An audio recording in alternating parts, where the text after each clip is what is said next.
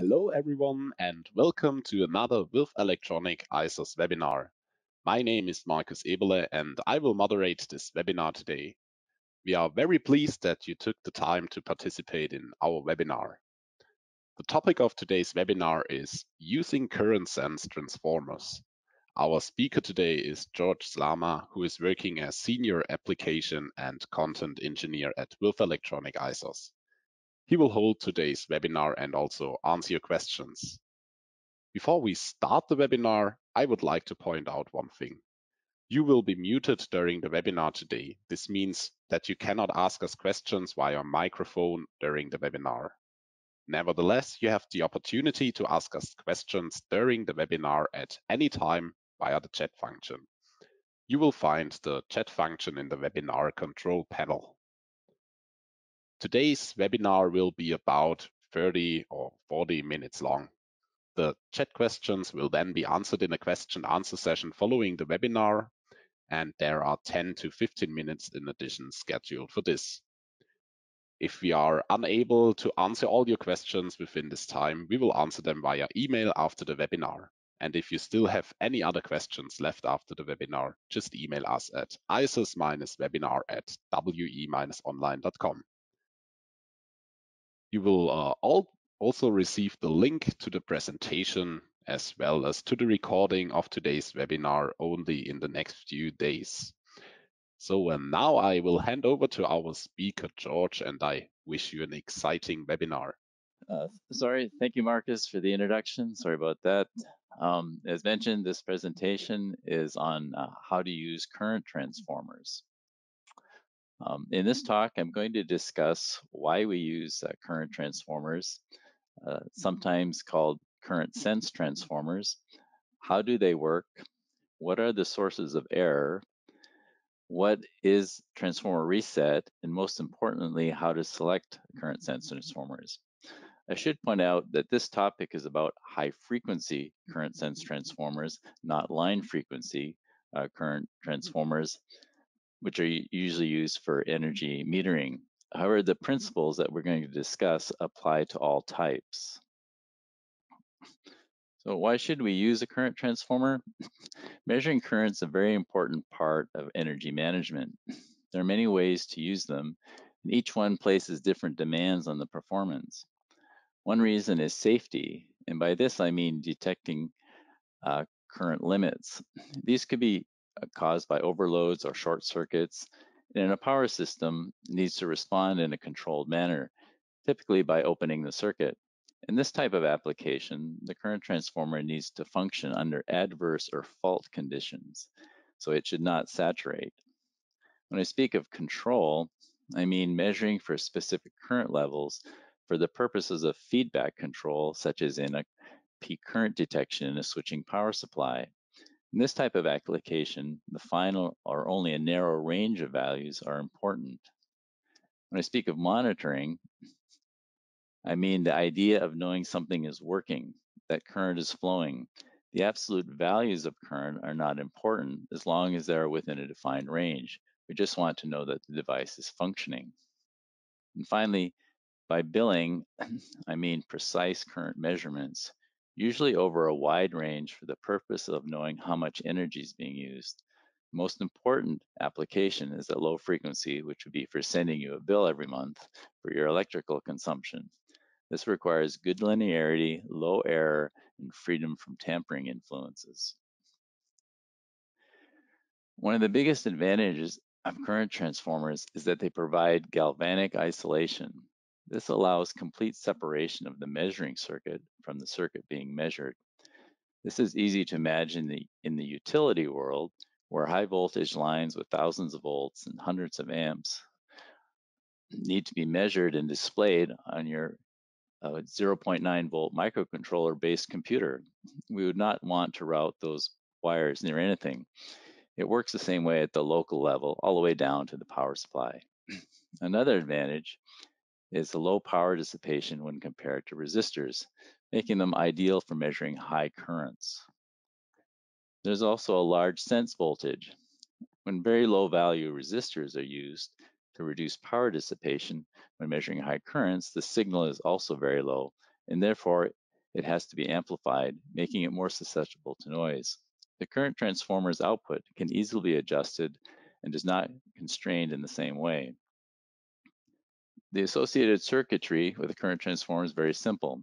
Only a burden resistor to convert the current to voltage. After that, any extra components depend on the application. No amplifiers or active circuits required. Large current transformers usually have a hole for a wire which becomes the primary, but small types, which are surface mount, have integrated low resistance primary buses built in. So therefore, current transformers are small, rugged, sometimes smaller than a sense resistor, which you can see in this photo. And you can also combine the outputs of several current transformers from different isolated circuits and use them individually or combined. You cannot do that with resistors. Current transformers can be grouped into four broad categories. DC, yes, you can measure direct current with a current transformer, but it's a little bit more complicated than what we're going to talk about today. 50, 60 hertz line frequency current transformers are a very broad topic because they include the utility scale. There they're used extensively for overcurrent and short circuit protection.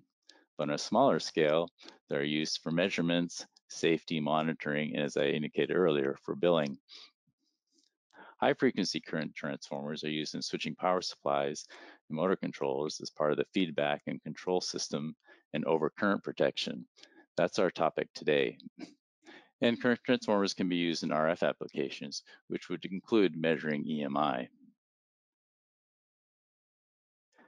Common applications for high frequency current transformers would include industrial controls, uh, motor drives, power supplies, and SCADA systems called, which is short for supervisory control and data acquisition. Würth Electronics has three different sizes of current transformers designed for high frequency. All use EE ferrite cores in three different sizes, the EE13, the EE5, and the EE 4.4. The current handling capabilities range from 40 amps at the largest part up down to 7 amps in the smallest part. All the parts are surface mount, little in the smaller parts. The smaller the part, the higher the operating frequency, as I'll show you in a moment. So how do they work? Current transformers follow the same laws of physics as voltage transformers, but the difference is that they are current driven rather than voltage driven. This manifests itself in that the different elements that cause errors, as we'll see in a moment. Many current transformers do not contain a primary winding, which is usually just a single wire, as you see in this photograph. Here, the red wire on the left is a single turn, and the black wire on the right has two turns. The secondary current is proportional to the primary current divided by the turns ratio, just like a voltage transformer. Secondary is then connected to a burden resistor, which is used to convert the current into to a proportional voltage. We call this sensitivity and the units are volts per amp. You often see this warning, never open the secondary when current is flowing in the primary. And it's true, but you must understand the context. First important point is that this is most often referring to mains or utility circuits. There the current is always flowing and the transformers have thousands of turns. Here's what happens.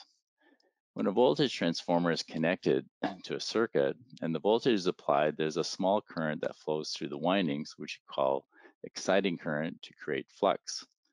The voltage on the secondary is proportional to the turns ratio, but there is actually no current flowing it if it's open circuit. Remember from your transformer theory that a transformer transfers impedance by the square of the turns ratio. An open secondary is an infinite impedance, which is transferred to the primary and placed across the voltage source.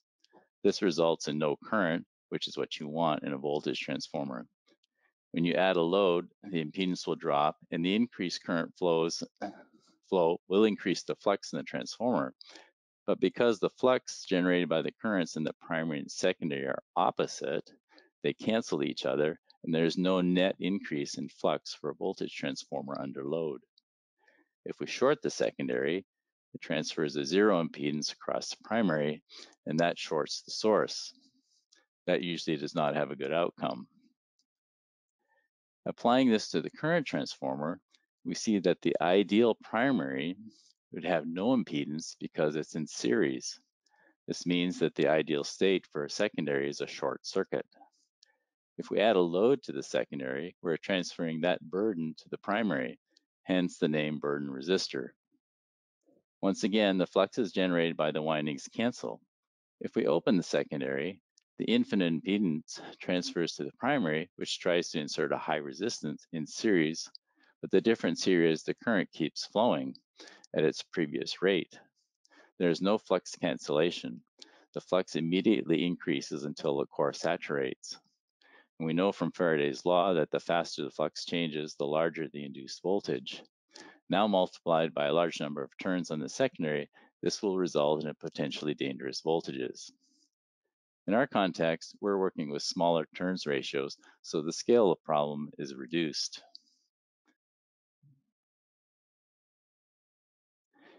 Here's a simplified equivalent circuit for a current transformer. The first thing you'll notice is that I've made the primary resistance RP and the leakage inductances dotted elements. This is because a series is as series elements in a current-driven circuit, they have no real influence on the performance. This is good because the typical primaries are often just a wire passing through a hole, so the leakage is actually high. This is not to say that the position of the wire in a toroidal current transformer has no effect because it does, but the effect is small. Generally, the hole size is appropriate to the current being measured. I place the magnetizing inductance and the core losses on the secondary side because that's where we can actually measure them. When they're on the primary side, it's a single turn and it's very hard to get an accurate measurement. We can then use the turns ratio to transfer the effect to the primary side uh, when needed. We also have the secondary winding resistance in series and some winding self-capacitance, and of course the burden resistor. The turns ratio reduces the current. You can see from this circuit that anything in series will not affect the current, but those elements in parallel will divert, divert current away from the burden. This leads us to the sources of error. These sources of error apply to all current transformers, but depending on the application, some are more important than others. Leakage inductance is a series element, and it has a negligible effect, as we talked about previously. At high frequency, it can limit pulse rise time, but it's not normally a concern. Winding self-inductance capacitance, winding self-capacitance, on the hand, does uh, have an effect because it limits the high frequency response. And this is exactly the same as you'd find in a regular voltage transformer. Winding resistance is another series element with little impact, except it does affect the flux density in the droop, which we'll see in a moment. Exciting current has the biggest effect. It's like a regular voltage transformer, it defines low it defines the low frequency limit. It's important to understand that the exciting current is the vector sum of the magnetizing current and the core loss. Magnetizing current depends on inductance, hence the turns, permeability, and the core size. Droop is the sagging of a waveform. Droop results from voltage drop created by increasing current through the winding resistance. I'll show you this in a moment. Turns can be a source of error, though, although not often. B, Bmax, or saturation flux, and volt microseconds limits have to be respected to obtain linearity and functionality under all fault conditions. So these two previous errors fall into two categories when applied to current sense transformers. The ratio area error, error is the deviation from the ideal transfer of the primary current to the sense voltage. This is usually the main error of concern, except for power measurement applications where phase error becomes important. The proper voltage to current phase relationship is needed to mm-hmm. accurately determine instantaneous power. In this slide, I want to explain a little bit more about exciting current. When we speak of exciting current, it's the vector sum of magnetizing current and the core loss current. Quite often, magnetizing current and exciting current are used interchangeably, but they're not exactly the same thing. I've tried to illustrate this in a couple ways. If you look at this equivalent circuit on the left, we have a secondary current, IST, which is split into two currents, IEX and IS. Furthermore, the IEX, the exciting current, is then split into IM, which is the magnetizing current, into IC, which is the core loss current. We use a resistor to represent the core loss uh, current because cores typically have a resistance, uh, and therefore we can model it as a resistor. This is the energy that's lost by traversing uh, the BH loop, going back and forth. The react so the reactive magnetizing current is actually at 90 degrees out of phase with the core loss current. So together these cause a phase shift, which is illustrated here. Note that this drawing is exaggerated. So you have the core loss current here plus the magnetizing current. The vector sum of that is the exciting current. If this long vector here is the primary current, this one on the horizontal line here is the secondary current times the turns ratio. So this plus the exciting current equals the sum here, but this error is causes this phase shift, which we have is just measured here. So the lower the magnetizing current will be, the lower will be the phase shift, and the and the lower will be the error. Every transformer is a type of bandpass filter and has a frequency response. The lowest useful operating frequency is a function of the inductance and the saturation, and the highest useful frequency is limited by the winding self-capacitance, the core material, and the losses. In this chart, I show three different parts that have the same turns ratio, which illustrate that size does make a difference. The large part with the highest inductance works in a low fre lower frequency range than the smaller parts, which have lower self-capacitance, and by virtue of their by virtue of their size, a smaller part will have lower self-capacitance, and they can work out to higher frequencies, which you see here.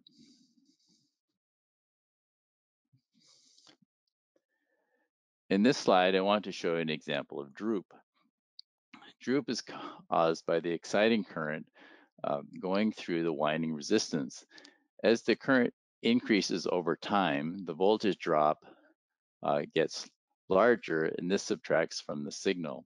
Whether you have a rectangular or a ramp pulse, the droop is going to have some effect. Here you can see in this oscilloscope trace,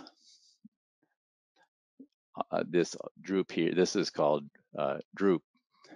This can be corrected only by increasing the magnetizing inductance, which will the inductance, which will reduce the magnetizing current, or to a less degree by reducing the resistance. So all current waveforms have a type of ramp, and then this is the drop. So you have the actual here, and then there's some subtraction.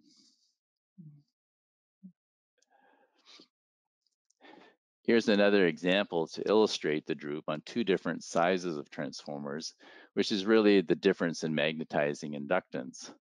The waveforms are taken under identical conditions where only the, the transformers are exchanged.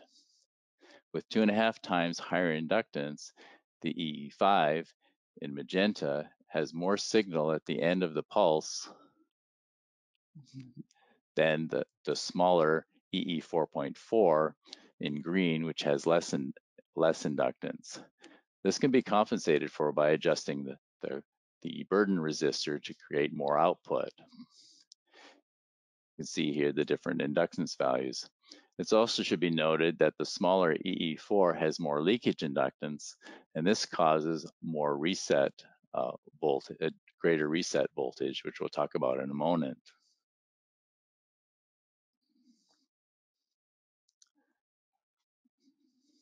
In this slide, I want to show you the progression of the waveform as it passes through different circuit elements to get from a 10 amp uh, peak pulse all the way to an A to D converter over here where it's represented as a voltage.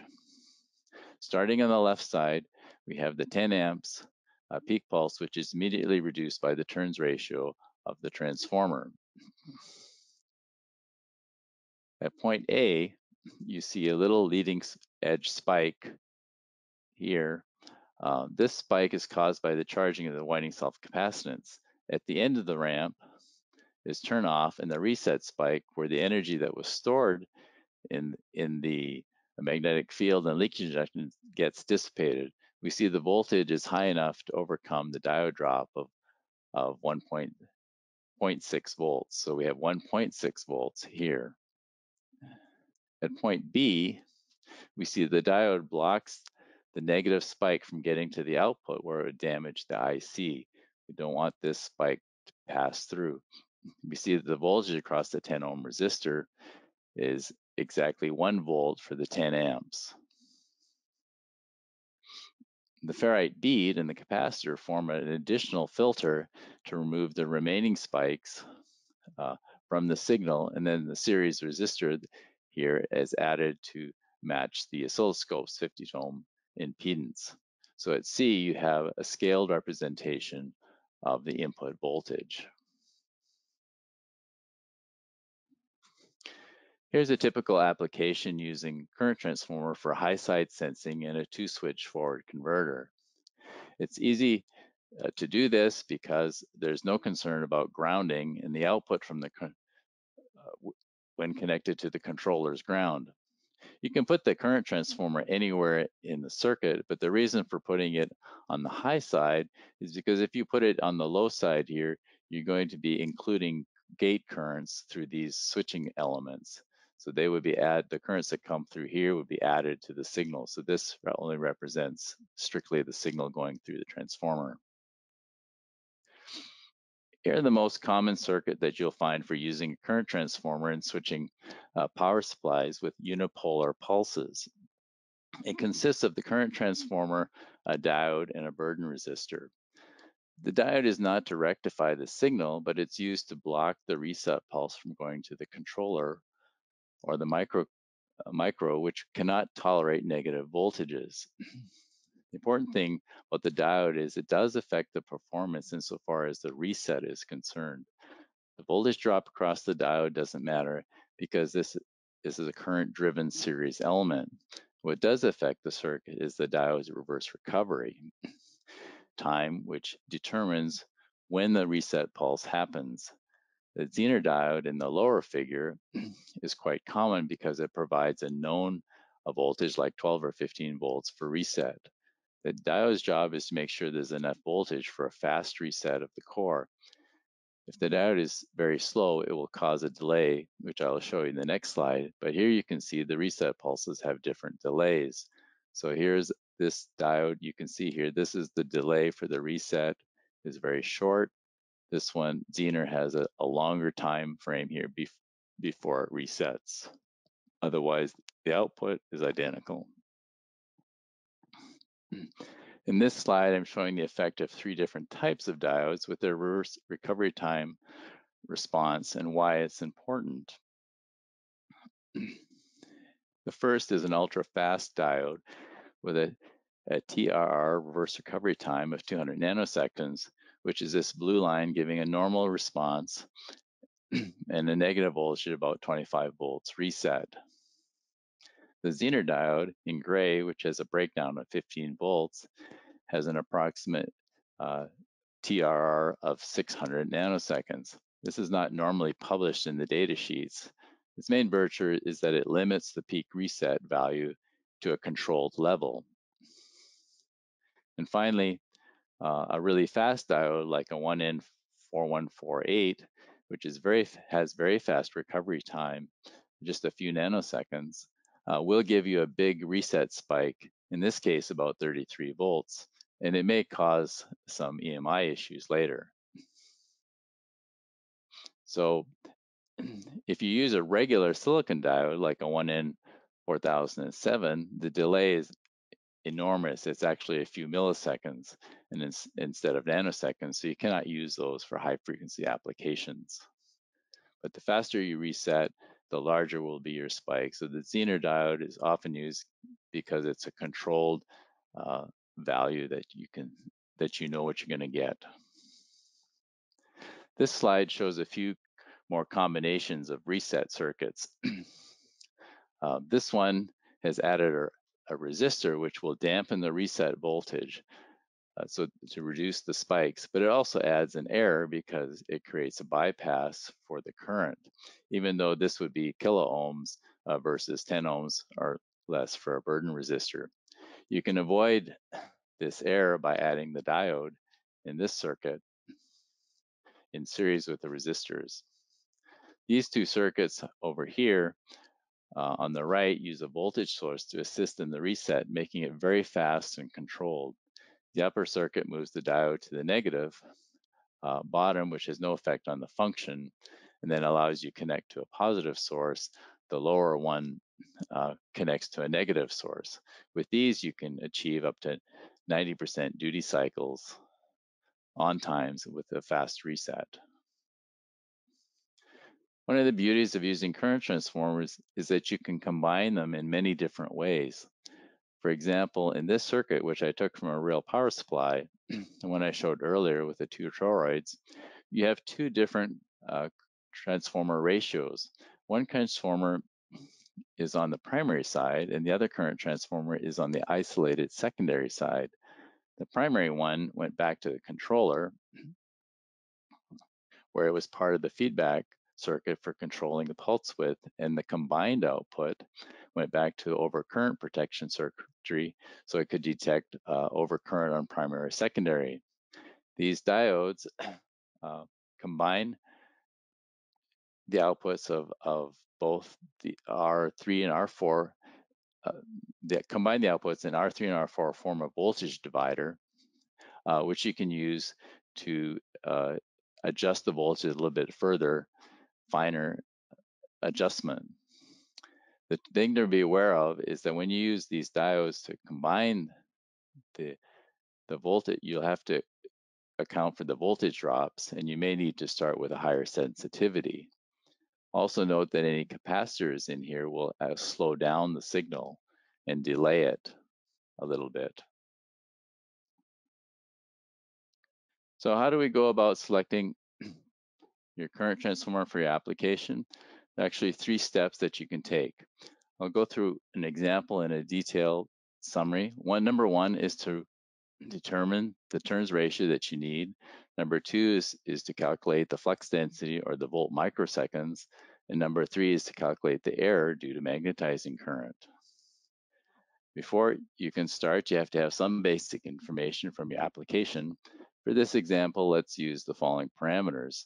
Uh, maximum signal voltage that we want is 3 volts. Maximum current to measure is 10 amps. The operating frequency is 300 kilohertz. maximum duty cycle of 0.45. And ideally, the burden resistor not to dissipate more than one quarter of a watt. So the first step is to determine the turns ratio, and we do this by calculating the sense voltage based on the power dissipation. We know that power equals current squared times resistance and must equal our quarter watt requirement. We also know by Ohm's law that the current times resistance equals voltage, and which we want 3 volts at 10 amps. So combining resistance equals volts squared over power equals 36 ohms, and current equals volts over resistance, which results in 83 milliamps. So current is proportional to the turns on the each winding, and we mm-hmm. assume that the primary winding is one turn. Therefore, 10 amps times one turn divided by 0.083 equals 120 turns. I'll choose 125 turns because that's the nearest standard product part. This will make my current 80 milliamps, and I'll need to adjust my burden resistor to 37.5 ohms. Knowing that I want 125 turns mm-hmm. secondary, we know we need to determine, we now need to determine the maximum volt microseconds that'll, that will be needed so we can select a part that has more. Since the mm-hmm. turns ratio is fixed, different volt seconds will come from different sizes of transformers. The volt microseconds from the application side is comprised of three voltage drops, the current through the winding resistance, the burden voltage, which is the largest portion, and the voltage drop of the diode. We multiply the sum of these by the duty cycle divided by the frequency, which is on time. The volt microseconds from the component side is the maximum flux density times the turns uh, times the core area. It's important to know that different manufacturers use different values for Bmax. So double check the data sheet. Ideally, you want to use something like 0.2 Tesla, but as you'll see in the next step, the accuracy that you want may make this choice less critical. Here we look through the various current transformers available, starting with the largest and working down to the smaller ones. You'll note in these charts that as the uh, turns ratio increases, uh, here you're going to see that the inductance also increases, and of course the secondary resistance will increase and the volt second product will increase. So these are all from the secondary side. Uh, the, the larger the turns ratio, the higher are these numbers will get. Uh, also, as the parts get smaller, even with the same ratios, now you're going to see that the inductance is smaller and the resistance is smaller and the volt seconds are smaller as we get physically smaller, but maintaining some of the same uh, turns ratios. And again, in this smaller part, um, again, they're small, uh, lo lower yet than they were in the previous one. But of course, as we get smaller, our parasitics get uh, smaller as well. Capacitance drops, so we can operate at higher frequencies, and leakage inductance actually uh, decreases as well because it's physically smaller. so after looking through these charts, I've uh, I've listed here all of the 1 to 125 ratio parts which would work, and I, so, I select the uh, EE5, which has plenty of margin as far as volt seconds is concerned, um, but I also want to have good accuracy, which I'll show you in a moment. So the last thing we want to determine is how to calculate the error from the magnetizing current. This is determined by, by the magnetizing current divided by the secondary current. To get the magnetizing current, we would take the volt uh, microseconds divided by the magnetizing inductance. You may recognize this as the inductance formula. The volt microseconds are as calculated previously, and the magnetizing inductance comes from the manufacturer's data sheets. In this case, we arrive at 2.8%. If I had chosen a smaller part, the error would have been larger because the inductance uh, would have been uh, smaller. This is not precise, but we are not uh, including any core loss. So normally, which normally we do not get that information, but we're operating at a reduced flux level. In our case, it's only 20 millitesla. So the core losses will actually be very low and practically neg negligible. Uh, magnetizing inductance on the data sheets is typically the minimum value, so the error could e would be even lower. For, for peak current detection, we can always adjust the burden resistor to compensate if we need it a little tighter. So in conclusion, uh, current transformers are simple and effective. They provide safety through galvanic isolation. Uh, they have very low dissipation when measuring high currents. Uh, they can be used in many unique ways and, and they can be easily combined in circuits. Uh, they scale with frequency, so the higher the frequency, uh, the smaller the part. Um, they're very easy to interface uh, to uh, power supply controllers and microprocessors. And with that, um, thank you for uh, your attention. And uh, at this time, I could uh, take any questions that you have. I'll give it back to Markus. He can go from. Yeah, so thank you, George, for your interesting presentation. Yeah, as you have mentioned, now we would like to turn our attention to your questions. And so we wait a little until some questions come in. You can uh, ask us the questions with the chat function in the webinar control panel. Yeah, so George, I see the first question here.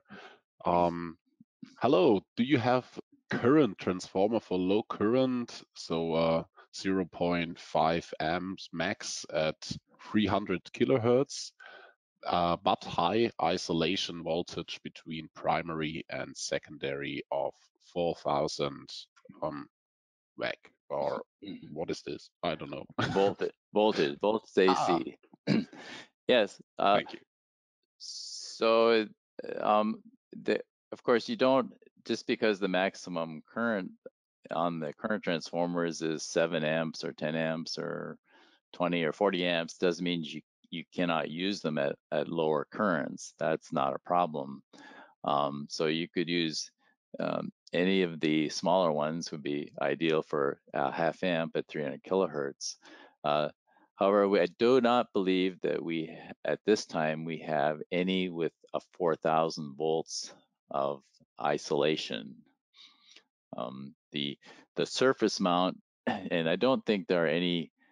I'm not aware of any parts even from uh, in that we have that are 4,000 volts. The surface mount parts do not have enough spacing for uh, creepage and clearance that you would need for 4,000 volt isolation. So typically in that application, you they would use a toroid um, that I showed you in the picture at the beginning, where you run a, a wire through, and those the wire that runs through that hole in the toroid can be double insulated or it can be triple insulated wire, and then you can achieve creepage and isolation at the same time. But the surface mount ones uh, do not have the spacing built in for 4000 volts. But otherwise, if you were just measuring low, low currents at high frequencies, uh, you could use any of these. Okay, thank you, George, for your explanation. Then, as we have a look at the next question, just a hint from my side again, um, you will receive the link to the presentation you just saw and also to the recording of this webinar only in the next few days. So you can go through the uh, material again. And yeah, uh, George, I see the next question. So it says, does the diode in the reset circuit effectively rectify the signal? Yeah, the diode is used, uh, it's not really used for rectification, but it does effectively rectify it. So we're measuring pulses and we want to reproduce the waveform. Um, so in unipolar pulses, the diode just passes the signal through, but it prevents that negative reset pulse because um, that would destroy an op amp, uh, maybe not an op but it would destroy a controller A to D that's not meant to take any, any negative voltages. So its main purpose is blocking. If you're measuring AC bipolar signals, maybe in a push-pull transformer, uh, a power supply, or even AC, you might you would use diodes in a bridge configuration and you would rectify the signal and then try to get a representation of the, usually in those cases, you're trying to get the average signal uh, and you rectify and you, you, smooth it out with the filter so you get a DC voltage proportional to the AC current. But in this type of application, high frequency, we, we want to duplicate the pulse. Uh, so the diode's main function is, is to uh, protect as protection, not rectification.